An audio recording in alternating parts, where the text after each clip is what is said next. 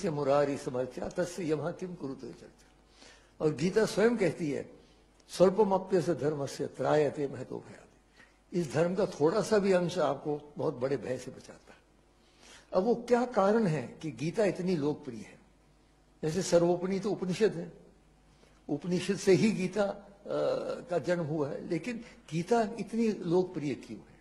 मुझे चार कारण दिखते हैं मोदी जी। पहला कारण यह है कि गीता संघर्ष का शास्त्र है। और आज हम लोग संघर्ष की परिस्थिति में हम उपनिषद का बिल्कुल वातावरण अलग था। बैठे हुए आराम से, हिमालय की किसी पर्वत चोटी पे आश्रम में। लेकिन गीता में तो वहाँ युद्ध शुरू हो रहा है। शंख बज चुके हैं, प्रक्षपात तैयार हो रहे हैं उसके बीच में। तो ये याद रखा जाए कि कुरुक्षेत्र केवल हरियाणा में एक स्थान नहीं है। हम सबके अंदर कुरुक्षेत्र है। हमारे अंदर ही दैविक और आसुरिक शक्तियों का युद्ध हो रहा है। इसलिए हम लोग संघर्ष में, और आजकल विशेषकर संघर्ष में परिस्थिति में है, इसलिए ये हमें बहुत आकर्षित करता है, पहला कारण। दूसरा कारण ये कि भगवत गीता के गुरु का विलक्षण स्वरूप हरेक उपनिषद के गुरु हैं, आप जानते हैं, याज्ञवल्क हैं, जनक हैं, अंगिरस इत्यादि हैं। लेकिन यहाँ तो भगवान श्री कृष्ण स्वयं है। कस्तूरी तिलकम ललाट फल के वक्षस्थले कौस्तुभम, नासाग्रे नव मौक्तिकम करतले वेनुम करे कंगनम, सर्वांगे हरिचंदनम च कंठे च मुक्तावलीम गोप स्त्री परिवेष्टितो विजयते गोपाल चूड़ा जहाँ कृष्ण स्वयं गुरु हो, उसका तो आकर्षण होना ही है, बड़ा तीसरी बात मोदी जी, जो गीता में गुरु और शिष्य का एक अद्भुत संबंध है, वो मैंने और कहीं नहीं देखा। जब विराट स्वरूप दर्शन हो जाता है अर्जुन प्रणाम करते हैं। तस्मात प्रणम्य प्रणिधाय कायम। प्रसाद तो हम ईश मैं साष्टांग करता हूँ। किस प्रकार का व्यवहार मांगते हैं? पितेव पुत्र सखेव सख्यू, प्रिया प्रिया देखिए कैसी अद्भुत बात है। पिता पुत्र का प्यार, सखा मित्र का प्यार और प्रिय प्रियतम का प्यार, तीनों का सम्मिश्रण जो है, वो संबंध है कृष्ण और अर्जुन का। ये और किसी शास्त्र में हमने ऐसा नहीं देखा। ये भी एक कारण है कि हृदय स्पर्श करती है हमें। क्योंकि वो कहीं ऊपर से ऑर्डर नहीं दे रहे हैं, हमारे साथ बैठे हमारे साथ रथ में बैठे हैं, मित्र की रूप से। और चौथी बात यह है, सार्वजनिक व्यवहारिक गीता किसी एक वर्ग, किसी एक वर्ण, किसी एक धर्म, किसी एक देश तक सीमित नहीं है। ईश्वर सर्वभूतानाम हृदय से तिष्ठती। हर एक प्राणी के अंदर भगवान का निवास ये हमारे वेदांत का मंत्र है। ऋग्वेद का बहुत हमारे संस्कृति का मूल मंत्र है एक। एकम सत विप्रहा बहुधा वदंती। सताई एक है, उसे कहने के अलग अलग मार्ग है। इसलिए गीता में हर एक जगह इस सारी दुनिया में जब जाता हूँ मैं तो गीता जो लोग केवल हिंदू नहीं, दूसरे धर्म के लोग भी गीता को पढ़ते हैं बड़े रुचि से। ये चार कारण मैं मानता हूँ मोदी कि गीता इतनी लोकप्रिय है। अब गीता का संदेश क्या है, उसमें भी चार मुद्दे संक्षेप में रखता हूँ पहला तो वो कर्मों की हमें व्याख्या करता है। गहनो कर्मणों गति कर्मों की गति बड़ी कठिन है। हर एक के सामने कठिन है। आपको कितने निर्णय करने पड़ते हैं। अब प्रधानमंत्री हो कि साधारण व्यक्ति हो, अपने जीवन में रोज कोई ना कोई नया हमें करना पड़ता है निर्णय। तो निर्णय का उन्होंने डूज और डोंट नहीं किया। जैसे कुछ लोगों ने कहा, ये करो, ये नहीं करो। नहीं। उन्होंने एक आंतरिक मंत्र दे दिया। क्या कहा उन्होंने यथ प्रवृत्ति भूता नाम ये सर्वमिदम ततम स्वकर्मणा तम अभ्यर्थ सिद्धि बिंदी मानो जो ईशावास्य मुदम इदम सर्वम जो सारे ब्रह्मांड में व्याप्त शक्ति है, उसको यदि हम अपने कर्म से उसकी पूजा करते हैं, तब हम सिद्धि की ओर जाएँगे। उसका अर्थ ये निकला कि जो भी हमारे इष्ट हैं, मैं भगवान शंकर का भक्त हूँ, यत यत कर्म करो मी तत्त अखिलम शंभो तबारा कृष्ण हो, दुर्गा हो, माता हो, जीसस हो, मोहम्मद, जो भी हो, अगर आप सच्चे दिल से समर्पण करते हैं कर्म को, फिर आप गलत कर्म नहीं कर सकते। कि जो ही गलत कर्म करना शुरू किया आपने, आपको लगेगा, ये तो मैं उनको नहीं समर्पित कर सकता। तो ये उन्होंने मंत्र दे रखा है कर्म का।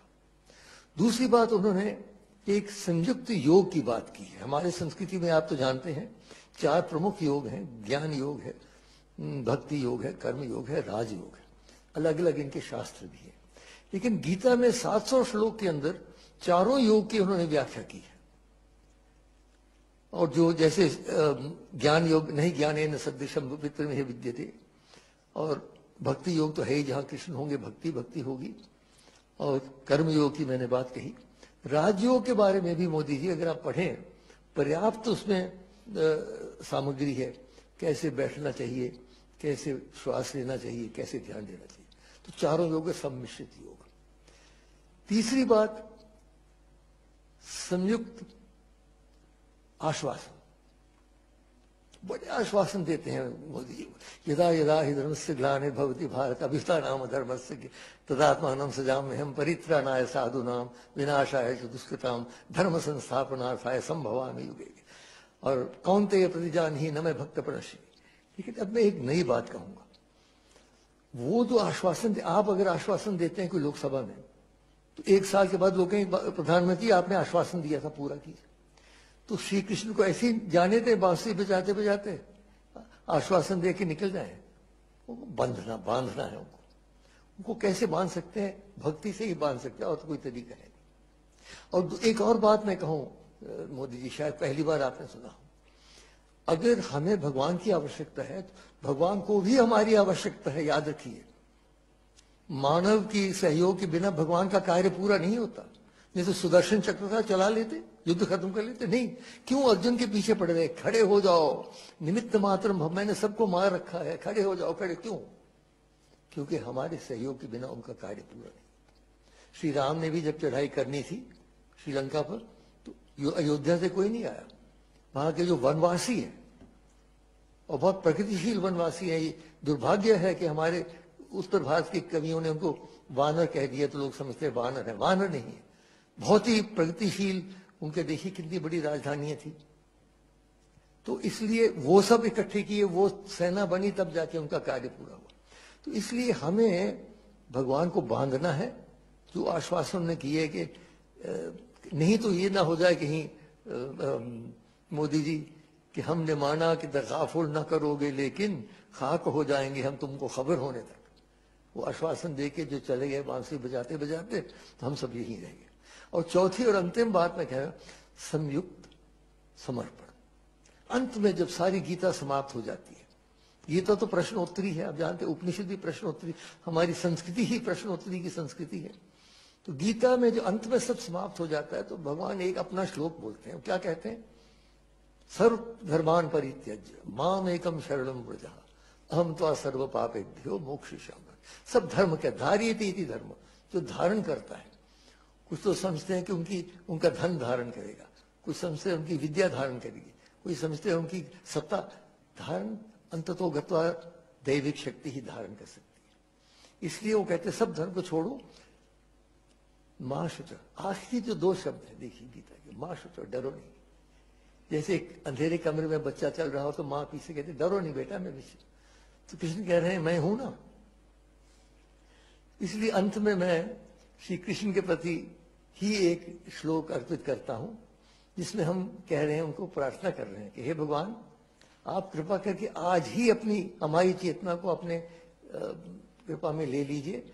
अंतिम समय जब आएगा, न जाने बोल पाएँगे, कहाँ होंगे आईसीयू में होंगे, कहाँ होंगे। इसलिए विलंब न करें। कृष्णत्व कृष्णत्वीय पद पंकज पंजरांते अद्यव में विषितुमानस राजहंस प्राण प्रयाण समय कफवाति पित्तई कंठावरोधन विधो स्मरण इन शब्दों के साथ मैं पुनः आपका धन्यवाद करते हुए प्रार्थना करता हूँ कि आप कार्यक्रम को